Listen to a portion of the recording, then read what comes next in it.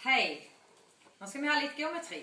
Sist gang hadde vi om stumpe vinkler, rette vinkler og spisse vinkler. Husker dere det? En vinkel består av vinkelbein og toppunkt.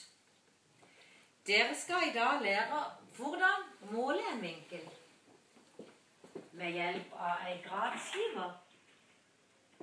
Da legger dere gradskiver med huller i toppunkter. Nederste vinkel langs null. Så leser dere av her det minste tallet. Denne vinkelen er 38 grader.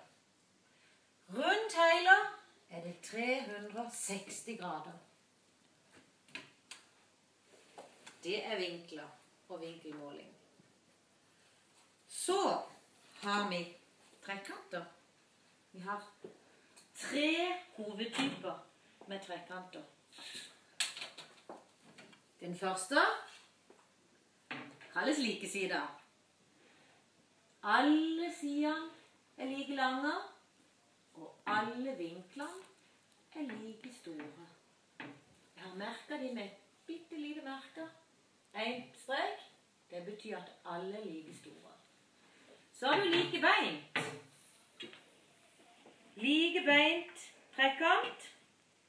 To bein er like lange, og to vinkler er like store. Den er mindre.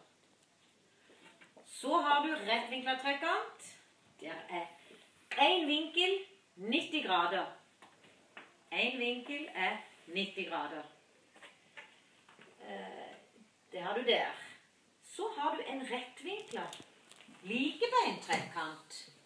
Da er det én rett vinkel, og det er to bein som er like. Det er det ikke her. Men den er rettvinkla og likebeint. Time out.